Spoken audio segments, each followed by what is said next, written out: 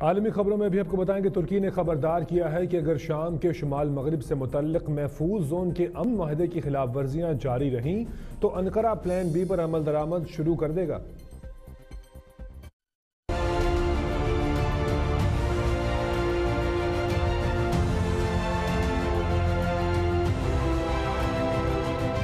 ترک وزیر دفاع ہولوسی آکار نے کہا کہ اگر معاہدے کی خلاف ورزی ہوتی رہی تو ہمارے پاس پلان بی اور پلان سی ہے۔ تاہم انہوں نے پلان بی اور سی کی تفصیلات بتانے سے گریز کیا، لیکن انکرہ کی جانب سے دو ہزار سولہ میں ہونے والی فوجی کارروائیوں کا حوالہ ضرور دیا گیا ہے۔ ترک وزیر دفاع نے کہا کہ معاہدے کے مطابق ہماری چوکیاں وہیں رہیں گی۔ اس کے باوجود اگر کوئی رکاوٹ ہے تو ہم نے واضح طور پر کہا تھا کہ جو ضروری ہوگا ہم وہ کریں گے۔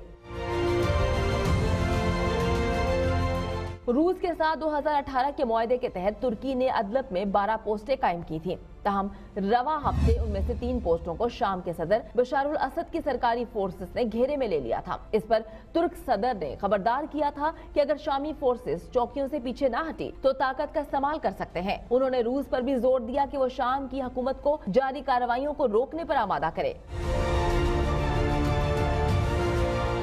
ترکی اور روس کے مابین شامی کرد فورسز کو ترک سرحد سے تیس کلومیٹر دور رکھنے کا معاہدہ طے پایا تھا۔ معاہدے کے تحت دونوں ممالک کی فورسز سیف زون میں مشترکہ پیٹرولنگ کریں گی۔ اس پر روس کے وزیر خارجہ سرگئی لاروف نے معاہدے سے متعلق کہا تھا کہ اس سے خطے میں خون ریزی کا اختتام ہوگا۔